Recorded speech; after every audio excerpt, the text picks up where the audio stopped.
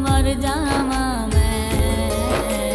ਨਜ਼ਰ ਕਰੇ ਤੇ ਡੁੱਬਦੀ ਡੁੱਬਦੀ ਕਰ ਜਾਵਾਂ ਮੈਂ। ਇਹਨੇ ਦੁੱਖ ਨੇ ਇੱਕੋ ਦੁੱਖ ਨਾਲ ਮਰ ਜਾਵਾਂ